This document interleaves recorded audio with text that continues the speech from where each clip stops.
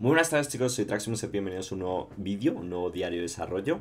Nuevo anuncio de DLC de Stellaris que además viene con, con sorpresita Da un poco para, para, debate, ahora hablaremos de qué pensáis un poco vosotros y tal.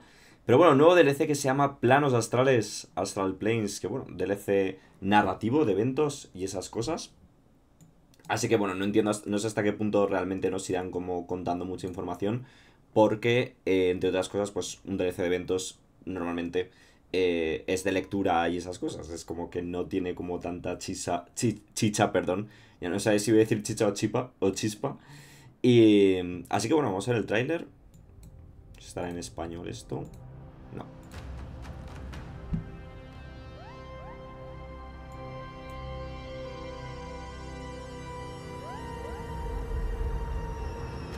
UNSC Earhart to command. Pending survey shift now. Copy that. Go ahead, UNS Earhart. Remember to stay clear of our friendly neighborhood singularity. Roger that. All systems clear. All quiet here. Returning to... Ojito, eh. I, I see something. UNS Earhart, please confirm your sighting. Moving in closer. UNS Earhart, please repeat. Over.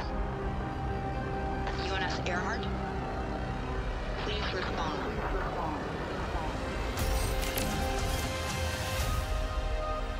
Pues ahí está. Y lo... Y lo curioso... A ver, no hay fecha de lanzamiento. Eh, lo estaba hablando antes por Twitter. Yo creo que seguramente llegará este año. Es decir, que esto como muy tarde saldrá antes de diciembre porque como... Como ya estuvimos hablando, tiene que haber un DLC de, de este antes de que acabe el año. Yo me pensaba que iba a ser un DLC de especies, pero al final ha sido este DLC que han dicho que va a tener un tamaño medio tirando a grande. O sea, yo me imagino que va a costar unos 15 euros. Seguramente algo parecido a lo que tuvimos con Galactic Paragons. Algo parecido, entiendo. Y como digo, un DLC muy, muy, muy narrativo que además está desarrollado por un, por un estudio externo a Paradox. O sea, es decir, Paradox ha contratado un, subcontratado un estudio externo para que hagan un DLC del Stellaris. Eso me parece como muy fuerte y muy como determinante de cara al futuro porque es como decir, tío, eh, la gente quiere comprar los DLCs de, de, los juegos de Paradox, pero no los sacamos como a tiempo para que los compren, porque de Stellaris este año ha tenido, a lo tonto, ha tenido bastantes DLCs. mirad, ha tenido el First Contact, el Galactic Paragons, y ahora va a tener este otro también, o sea que una cadencia, a ver, de tres DLCs, un poco lo que están casi en todos los juegos, ¿no? Dos, tres DLCs. Así que bueno, va a añadir en teoría esto unos 30... Eh, eh, unas 30 mm, em, fallas astrales para que podamos explorar. Cada una va a tener como sus historias y sus movidas.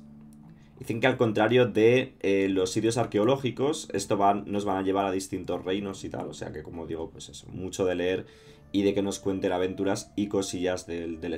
¿Qué incluye este DLC? 30 fallas astrales para explorar, 8 reliquias nuevas, 4 nuevos cívicos, cívicas, un nuevo origen y luego la novedad mecánica, que bueno, entiendo que obviamente pues si no tienes este DLC te, te dará igual, porque entiendo que son métodos de interactuar con estas fallas astrales. se llaman acciones astrales y hilos astrales, ¿vale? Pues habrá que ver en qué consiste esto, ya nos lo presentarán. Y tres nuevas canciones compuestas por Andreas Valdetov, que bueno, como ya sabéis, hace poco dejó Paradox. Va a seguir trabajando de freelance si le quieren contratar para lanzar el, DLC, ¿no? O hacer nuevas canciones.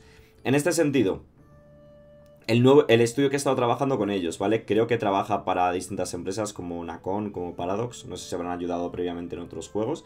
Dicen que ya han trabajando junto a Paradox desde octubre del año pasado y que este DLC lo han desarrollado de manera muy cercana al equipo de, Stellaris, o sea que en ese aspecto pues que deberíamos estar tranquilos, debería ser un DLC que se sienta totalmente eh, Stellaris, como digo, ¿no? Bueno, me parece bastante curioso lo de que, que lo haya desarrollado un estudio externo, ¿no? Por primera vez creo que es lo que... Eh, algo que iremos viendo de cara al futuro, me gustaría verlo especialmente en Crusader Kings 3, que llegase de vez en cuando algún DLC más, sería una grata sorpresa, pero bueno, sobre todo al principio, ¿no? Stellaris desde luego tiene muchísimo contenido y mola un montón. Tenemos aquí imágenes, Vale, pues aquí estamos viendo la falla astral, recuerda obviamente mucho a los asedios del EU4, recuerda a los eh, sitios arqueológicos del propio Stellaris. Em, bueno, pues habrá que ver exactamente cómo funcionan. Entiendo, pues eso, que colocarás un científico a explorarlas y será algo similar. Dicen que no se parecen del todo, ¿no? Porque entiendo también, eh, obviamente, que los sitios arqueológicos son un poco siempre los, los mismos. Y esto va a ir evolucionando. No sé si habrá algún Leviathan nuevo. Pues aquí un evento relacionado. Visualmente, obviamente, es súper, súper impactante. Mola mucho. Vale, y lo que me parece chulo. Eh, a ver si lo vemos. Eh, eh, he visto una imagen antes. Aquí, ¿vale? Aquí parece que tenemos acciones astrales, ¿no? Y tenemos como un nuevo recurso que se ve aquí arriba a la derecha. Que habrá que ver exactamente en, qué consiste. Lo iremos viendo cómo se obtiene y tal. Y parece que este evento, perdón, este recurso Vemos que está en la pestaña de reliquias y se va a utilizar pues aquí, ¿no? Para llevar a cabo estas acciones astrales. Así que me temo que de momento no hay mucha más información, ¿vale? Nuevos sistemas y tecnologías. Desbloquean nuevas tecnologías, acciones y reliquias. Hay nuevas tecnologías también, interesante.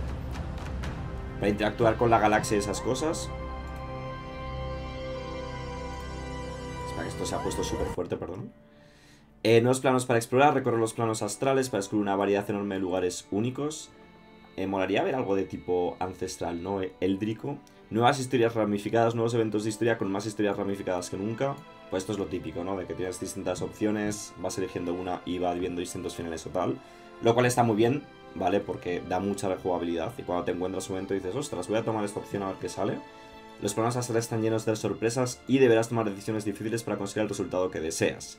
Me recuerda un poco también esto a las expediciones del Victoria 3, obviamente. De hecho, es un poco, yo creo, las expediciones del Victoria 3, ¿no? Que también tienen como muchos desenlaces posibles. Bueno, no tantos, pero sí que tienes que ir jugándotela muchas veces para conseguir el objetivo que quieres. Así que nada, ahí lo tenéis. DLC, pues quizá que... Me gusta que haya llegado Astralis un poco al punto... Perdón, Astralis. Estelaris al punto de que salen DLCs que no necesariamente suenan como muy obligatorios. En plan, este DLC es típico que Está bien si quieres como añadir algo más de sabor, algo más de contenido a tu partida, pero que no suena obligatorio en ningún aspecto. Y me gusta mucho que esté en este punto el Stellaris porque yo creo que es algo muy bueno, que lancen DLCs muy opcionales, que si el muy fan pues se los quiere comprar es totalmente bienvenido, obviamente.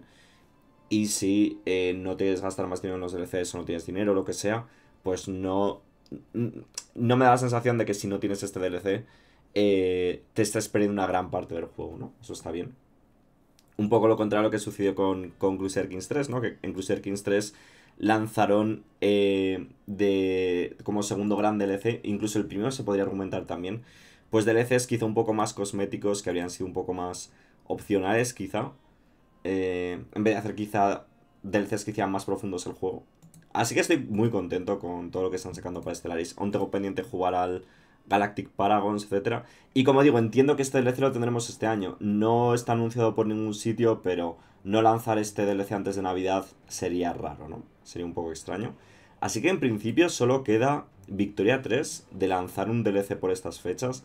Veremos qué anuncian el jueves que viene, si es que anuncian algo. En principio, imagino que sí. Y poco más, ni que sea un DLC pequeño, yo creo que anunciarán algo de música o algo. Poco más, chicos. Nos vemos en el siguiente vídeo. 早走。